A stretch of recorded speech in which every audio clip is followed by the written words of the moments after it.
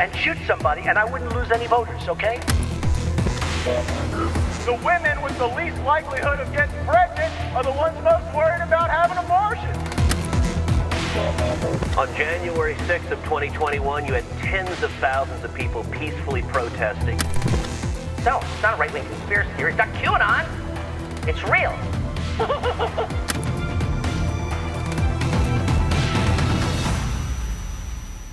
Hey, folks, and welcome back to the Enemies List. I'm your host, Rick Wilson. Today, is my guest is Timothy Shenk. He is an historian of the modern U.S., and he has written a couple of very interesting books about how our politics in this country have been evolving, both on the left and the right.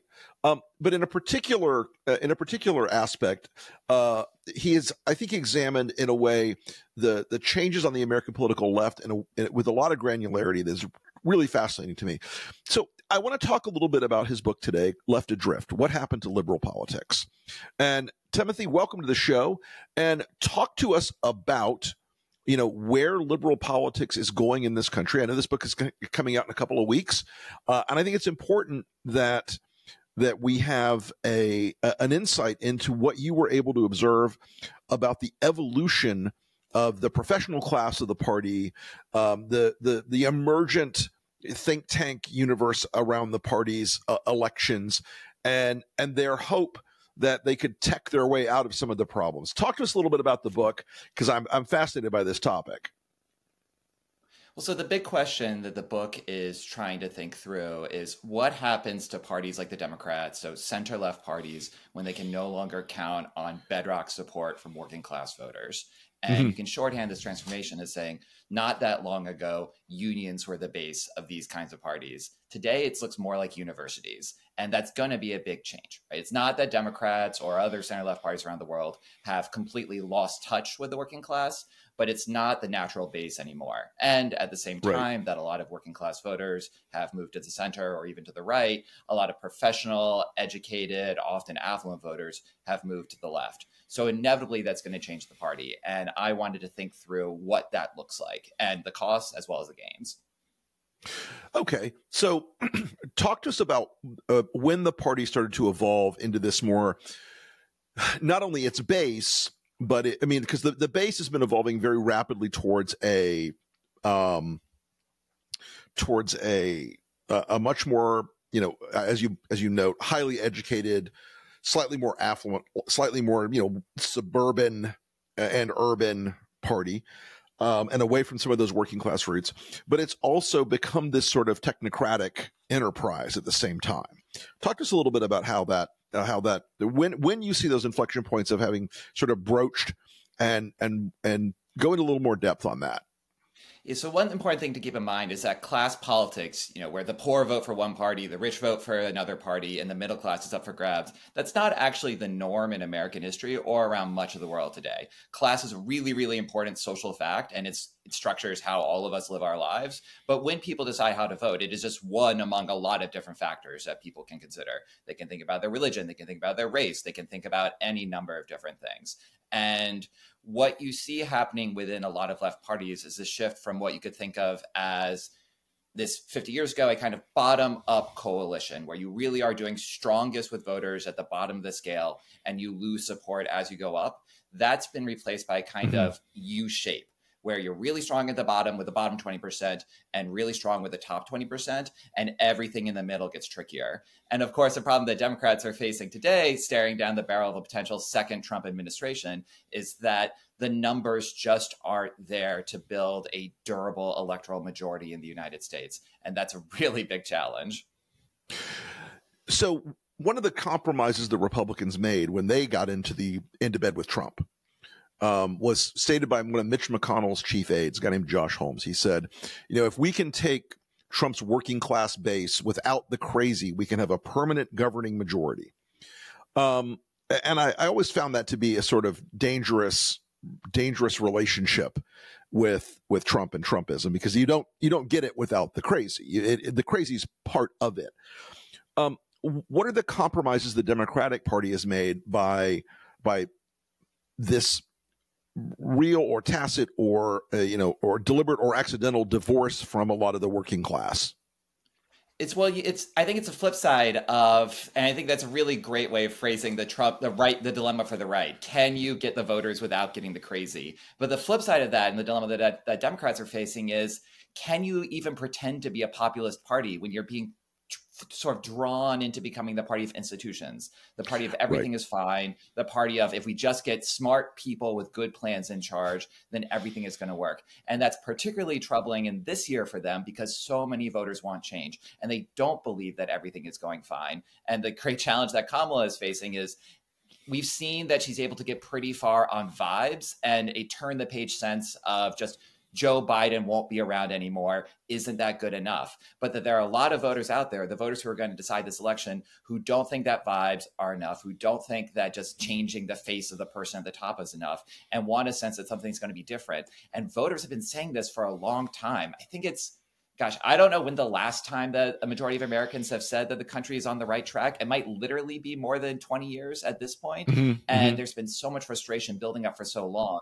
that a party of institutions and everything is fine is just never going to be able to speak to that, speak to those concerns as plausibly as a more populist Republican Party, even if Republicans have to deal with the downside of the crazy.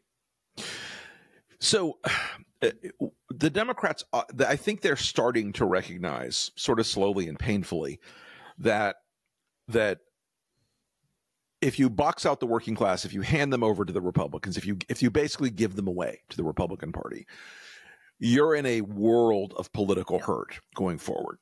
And I think I think the Harris campaign has started to to deflect or reflect back onto that um, pretty effectively, but I, I don't think they're there yet what would you be doing if you were advising the Democratic Party at that level on on how do you start communicating with the working class again in a way that doesn't and look I've been in a, in a hundred focus groups where I have rank and file working class Democrats say I don't want to hear any more bullshit from Washington about that I'm going to become a solar panel installer or any of that they, they're really yeah. they're bitter about it how would you start to heal that divide with Republicans or with with working it's class something voters? I've been it's something I've been thinking through a lot for obvious reasons. This yeah. is like the great question that the Harris campaign is facing at the moment. And we just have to be honest, like they don't have a lot of time. They have the candidate who they have, who she has lots of strengths, but she does doesn't have the kind of muscle memory that would come from having run campaigns oriented toward these kinds of voters before. Right? You know, she is just inevitably a product of a sort of California political ecosystem where if you're trying to train someone from the bottom up, you know, she's not Bill Clinton in Arkansas in 1980, and she's never going to be. And right. there's going to be a hurdle with a lot of voters that we just have to acknowledge that it's to the extent that some of these voters you want to get in the TED are blue collar, often white, often older working class voters, then there's mm-hmm. going to be, for the same reason that Harris has gotten a bump over Biden with younger voters, with women voters, with non white voters. Like identity is a signal, it's an important one. And so she's going to have mm-hmm. more of a, there are going to be more hurdles to jump through to get in touch with those white working class voters who are really, really crucial in those obviously sort of like swing, blue, blue wall, Midwestern, Rust Belt states. But I think that policy has to be this in the time that she has clear moves on policy that I think importantly signal a break with the Biden administration. You know, there people talk a lot about Sister Souljah moments. It's Bill Clinton mm-hmm, in 1992, mm-hmm. sort of tis tisking at Jesse Jackson for turning the other way on this controversial rapper. And Sister Souljah's often used as a shorthand for a big public break with the left. I think that's what's more important for Kamala right now is almost like a Sister Souljah moment with the Biden administration. What is an issue that she can pick to signal clear distance with Biden on that speaks to the concerns of this group of voters who I call burn it down moderates, where right. they have sort of a set of issues where often they sort of lean, they have populist instincts on economics, and they're somewhere to the center or even conservative on a lot of culture war issues. Mm-hmm. And they have been the key swing voters in American politics going back decades. And to they what makes them significant and what makes them moderate is that they have this resistance. They feel that the game is rigged against them. They're deeply skeptical of elites, but they don't fall neatly into either the Elizabeth Warren or the Ted Cruz camp. Right? They're not strict conservatives. They're not strict leftists. Obviously, they don't pay that much attention to politics. They actually don't, I think, expect an enormous amount. They just want their lives to be better than they are now, and they don't understand why people are fighting all the time about this. And to the extent, and they don't like where the country's been going for a long time, and especially under Biden. And I think to the extent if there eh, you know if it was easy it would be done now but something right. that allows kamala to put herself as a defender of the middle working class who understands how hard things have been in the biden years and is going to deliver them something that's really different not just because she doesn't look like joe biden but she's going to govern differently like from joe biden and she understands the anger that people are feeling now this is not necessarily her natural skill set but that because these voters are so important and because we live in a democracy and they should have a voice, this is the number one issue I think that should be on her agenda in the sprint to election day. You know, I think that's a really interesting insight into this because there is a there is an interesting overlap in and as you said, you know, they, they, they're not they're not Ted Cruz and they're not Elizabeth Warren. I think on the on the Warren side of it, you get some of the Democratic Party that I've seen in focus groups and I've seen in in, in research over the years where you know it's the, when you tell those voters that those working those guys that are you know out working on, on on a highway project somewhere or out working construction and you tell them well here's my 900 page job retraining plan. They're just their reaction is like fuck out of here. Who, who, are you talking to? This is you know it's completely detached from their lives. It feels like a washington you know uh, an empty washington promise and that sort of thing. Um and and, and so you know uh, that that strikes me as a as something she that she would profit from, especially if she keeps it in the frame of some of the things she's been doing right now have been very simple and straightforward. I want to get your thoughts on this. Uh, she's talking about a twenty-five thousand dollar first-time homebuyer credit. She's talking about a six thousand dollar uh, child credit. She's talking about an increase in the child care tax credit. All those things, they are simple. They are plain numbers. They're not an amorphous kind of plan. They are a set of you know one, two, three, four promises. Um, what do you think about that approach uh, that she's taken so far? It's it's tough because I agree that it's not the worst version of the here's my 12 step process for solving a problem that maybe yep. you care about but probably don't. But it's still hard to get people to care about that type of thing, right? And I think what's really crucial is that and this is why it's hard to find the specific issue, but the best case scenario is something that allows her to distance herself from Biden and for Trump right? You need to not just take a position, mm-hmm. but you need to get people to care about it. And the way to get care about it is to be fighting with it on the other side.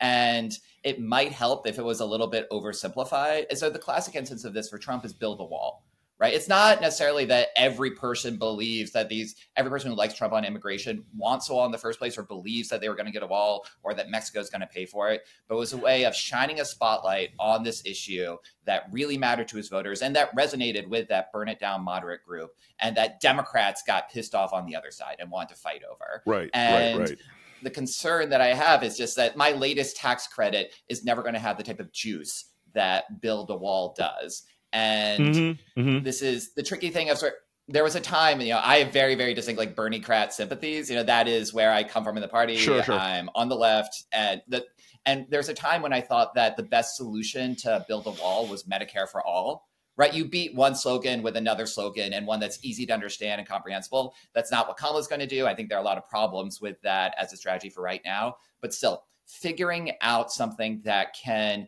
put Trump back on the defensive as not just the sort of blue collar working class Republican who's taking on the elites and can challenge the establishment, whether you like him or not, he's going to bring change. Pick the thing that lets Kamala get back in touch with what has always been the Democrats' strongest issue, which is we are the party of working people.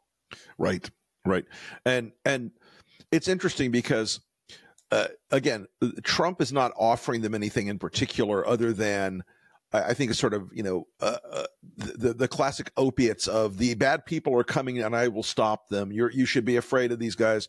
You know, it's like uh, the point I make all the time to folks is it's like look, McKinsey took more jobs from working class Americans than the Mexicans ever did, by by an order of magnitude, and and and those are the people that Trump and I've I've I've been interesting like I, I'm wondering how the Democrats they kind of feel like they've missed that beat you know, they, they're always like, oh, the billionaires, the billionaires. Great. But, but Trump's weird vulgarity about the whole thing and this weird this weird concept that the that the Trump's tax tax cut helped anybody other than hedge fund bros and very high net worth individuals.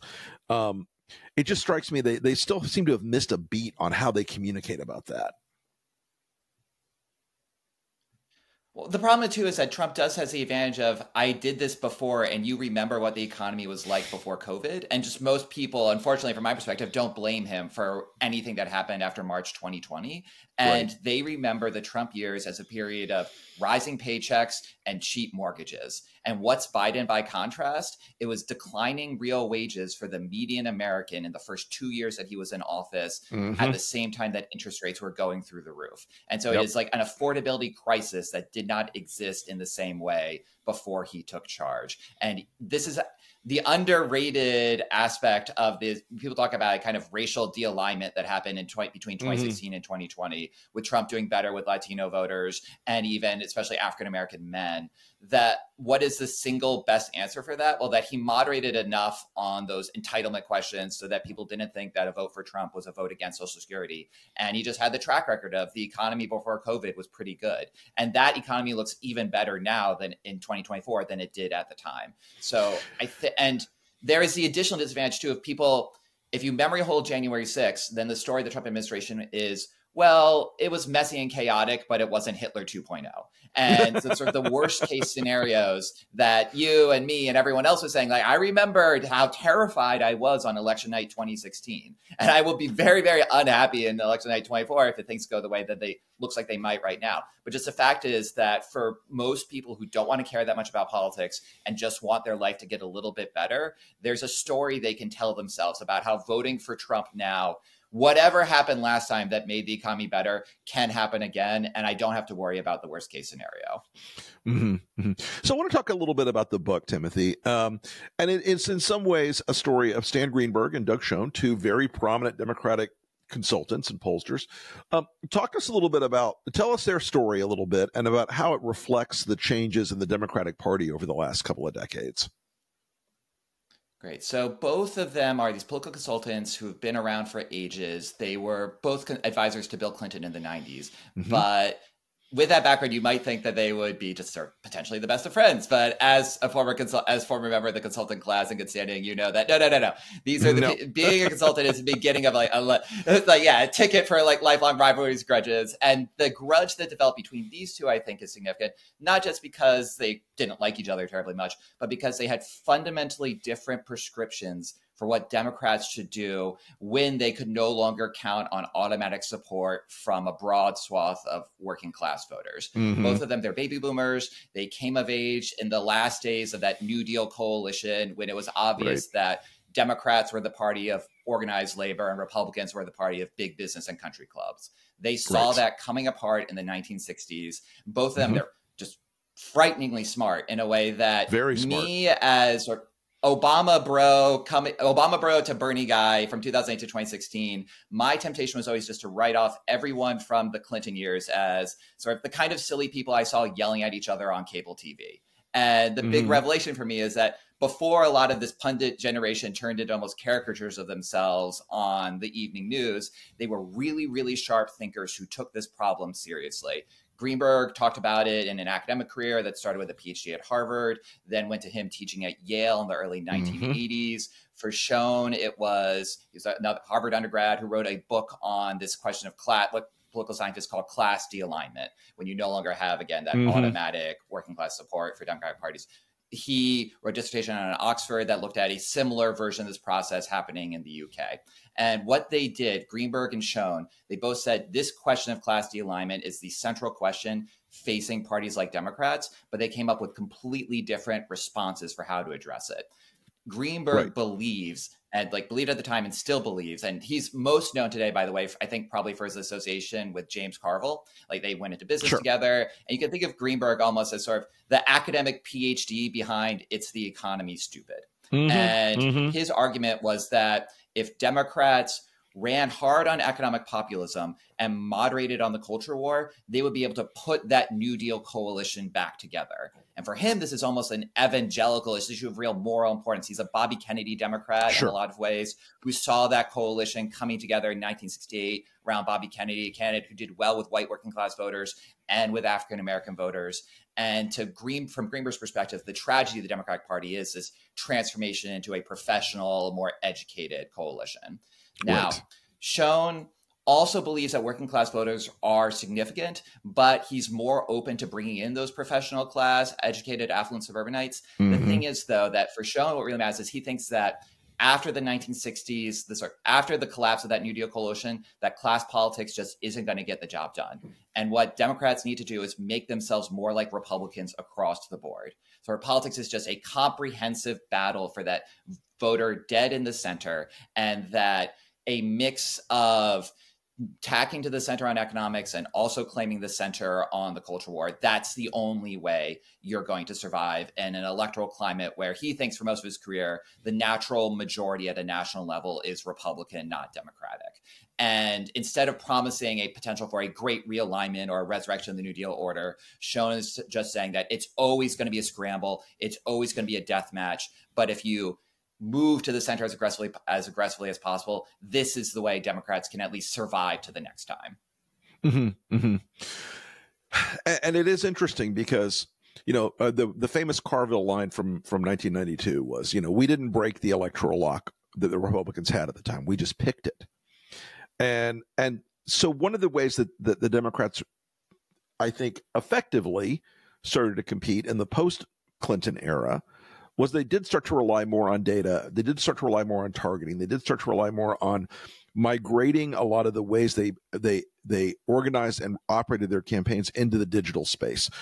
Talk to us a little bit how about how that evolution and revolution in democratic politics has changed the game for them. And it has it's tough to say that it changes the game permanently, right? Because the problem is that Republicans can do this stuff too. Right? The, right. On the tech side, it's always a battle for the next. What's the next opportunity? What's the next advantage? Mm-hmm, I think mm-hmm. really you have to think about the data revolution unfolding alongside the hope of the emerging Democratic majority. And this is the argument that gains traction starting in the George W. Bush years that demographic changes, the country is becoming less white and more educated, that no longer do Democrats have to assume that they are living in Reagan country, that that yeah. underlying Schoen pessimism about what the party can do allows them to be more ambitious and that you Obama 2012 ends up becoming a it, it's a, a, almost a catastrophic victory for a certain type of Democrat because it allows them to tell themselves that the victory lab, dorks in the in the IT department or the quants coming up with a strategy that combined with demographics is enough to seal the case for us. And that sort of arrogance really becomes an animating principle of the Clinton campaign in 2016, which sure. does have a real economic message that's trying to put out there, but it's not trying that hard, actually. What I always think about is it's running much more against Trump, pure, purely against Trump, and really against Trump as a sort of cultural monster. It's kind of, I think it's a little bit forgotten now, but does anyone like remember Alicia Machado, like the former it's like Trump era? It was like Miss Beauty, what Miss USA, mm-hmm. whatever contestant who out of the Trump out of the first presidential debate, what was the thing that the Clinton campaign wanted to talk wanted to talk about? How Donald Trump had made vulgar and stupid comments about this woman Alicia Machado, right? right. She, Clinton wanted to wage a campaign over who was on the right side of the culture wars. And for Greenberg and Schoen, when they were coming of age, the assumption was always that culture wars, loser for Democrats, have to figure out a way around, have to figure out a way around that. And Clinton 2016 was based on the hope that Trump was so extreme and unacceptable on the cultural front, and the country had changed so much that finally Democrats could, in a sense, be the party that some activists had always wanted them to be. And that mm-hmm, looked like mm-hmm. a not terrible bet, partly because those quants had been saying that the numbers are good, the numbers are good, they're there for us, we can predict these things, we know how it's going to shake out all looked like a really good bet right up until election night 2016. well, I also think Hillary made a. Uh, I think, and this is a mistake. I think Harris has thus far avoided.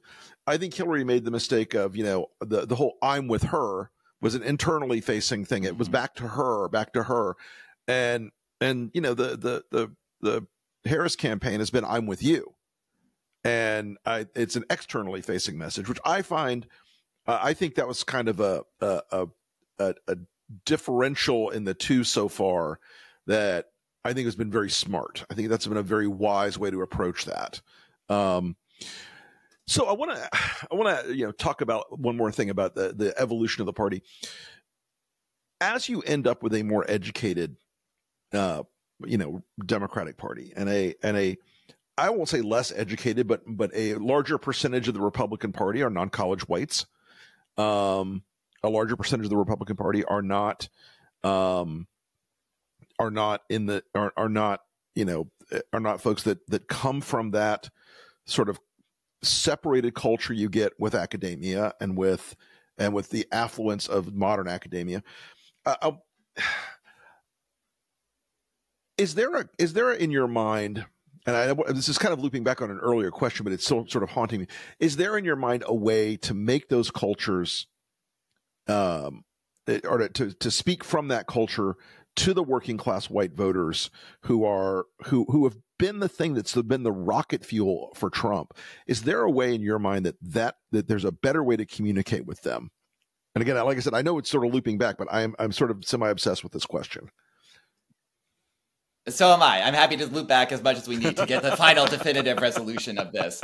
Uh, and partly, you know, I'm aware. Like I'm writing a book. Yeah, exactly. I'm writing a book that who's the target audience for it? It's a type of people who I'm sort of lecturing. It is those educated college types like me, like almost everyone that I know. Yep. Yep. But I, one way to guilt trip those educated progressive types into taking this question seriously is to point out that it's no longer just the white working class that why if Trump wins in 24, it's going to be because yes, he blows the roof off with blue collar whites, but he right. is gaining ground with Hispanic voters and again like some mm-hmm. African American men, and it is a specific type. It is the non college working class voters it, eh, that sort of the breakdown of that racial structure of American politics. And if the Democrats want to be either the working class party that they were under Roosevelt or the party of a multiracial America that it seemed like they could become a multiracial majority that seemed like they could become under Obama and Clinton, then they need to fix this problem. And yep. I think it starts by me, folks like us talking to me, like this slice of the new Democratic coalition and saying, if we are in fact as tolerant and sophisticated and compassionate as we say we are, then we have to realize that we can be on the bus, but we don't get to drive it. And to take seriously the fact that there are people who have a different set of concerns, they have a different set of values, and that there is something. This is where I get kind of soppy and romantic about democracy to say uh-huh. that a system that can give ordinary people more control over the life economically and that makes them feel as if they are being heard culturally. The Bill Clinton line from 92, which I actually love, even though I have a lot of problems with how Clinton tried to put into practice, but it was defend the interests and honor the values of the people who elected us, of ordinary Americans. I think that progressive, well enough off blue voters should be able to be as moved by that ideal as I am. And because that is what democracy means. And it is both, I think it's good policy. I also think it's great politics. And if that mm-hmm. doesn't persuade these people, I don't know what will, but I want to try. You know, I, yeah, I think that, I think that idea is, and it's one thing, look, and I think, yes, part of it is the Democrats' fault for that, for allowing that to, to be, become the frame they were in. Part of it is the Republicans have very, very smartly exploited it. And back when I was a Republican, we would very, very smartly exploit this kind of thing. This was not this was not a a a, a difficult uh, exploitation. It was a it was a standard issue exploitation. It was something we did without even breaking a sweat. Um, of of saying these eggheads are looking down on you. These smart guys want to tell you how to live your life. They they hate you. They're they they they view you with contempt. All those sort of things. And it really is. It really was something I think the Democrats were were very flat footed about responding to for a long time. Yeah, and I think the best way to listen, not every candidate is going to be able to make the most plausible version of this case because I think the most plausible version of Democrats don't look down on you comes from any number of sort of the new crop of working class Democrats who sure. are coming down the pipeline now. But even someone who comes from a comparatively well, off background, like Fetterman, you know, personality, how you present yourself, all those intangible cultural things, mm-hmm. it matters that you're signaling that you're not just the latest model from the Ivy League assembly line.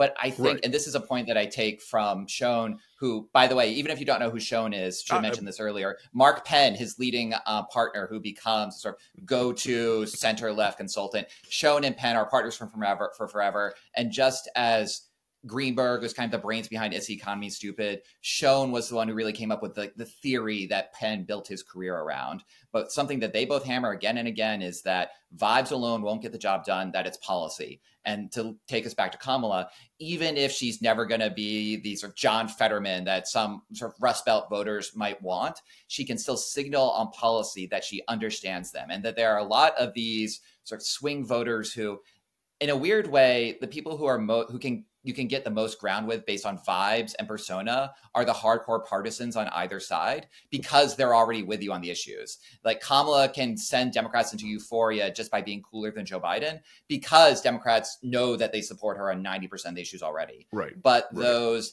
up for grabs voters, even though they don't pay a lot, a lot of attention to politics, that means that the but upside of that is that they're not invested in one of the tribes deeply already, and that they just want to understand how this election can benefit from them. What are you offering me that could make a difference in my life?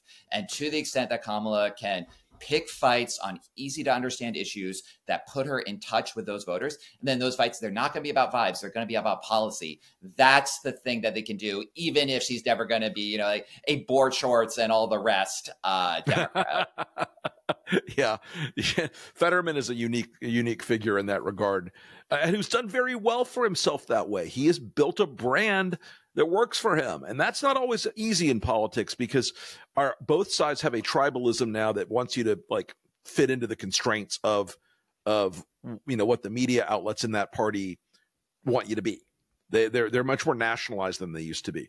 Um, so one last question: uh, you, you were talking about that. Where do you see Tim Walz fitting into that? Like not off the standard Ivy League uh assembly line thing. I I think he's done well for her. I think he's I think he's helped the ticket kind of meaningfully in that regard because he does come across as a much more you know authentic suburban American dad and less as you know the guy who you know went to private school, went to an elite college, went to you know London School of Economics. He's he comes across as a very authentic sort of representative of the of the the working class.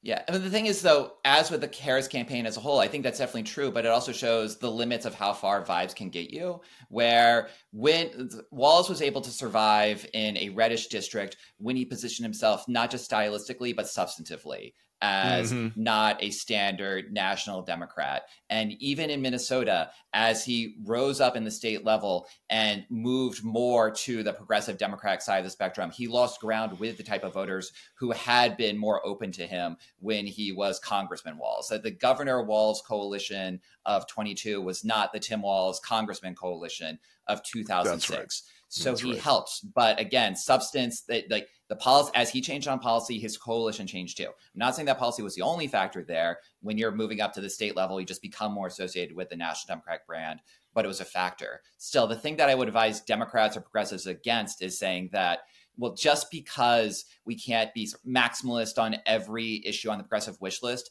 doesn't mean capitulating to the other side completely and trying to roll back the clock to the Stone Age. I think the really important thing for progressives to remember is that the alternative to the right, the alternative to standard, the, rather, yeah, the alternative to MAGAism doesn't have to be a maximalist progressive position on the other side, that there's a middle ground, and that a lot of these voters who might be drawn to Trump on like already based on the economic record and everything else. They are not hard line cultural conservatives who are mainlining Tucker Carlson either. and that, for instance, even if they don't like what's happened in the border in the last four years. They also right. don't like a, the idea of having a network of detention camps set up along sure. with forcibly deporting millions and millions of people. That's it. That for That's most it. Americans, it is a both and, not either or policy. That they want to have order at the border, but a sympathetic path for, uh, for a sympathetic approach to people who have been living here for a long time that can be linked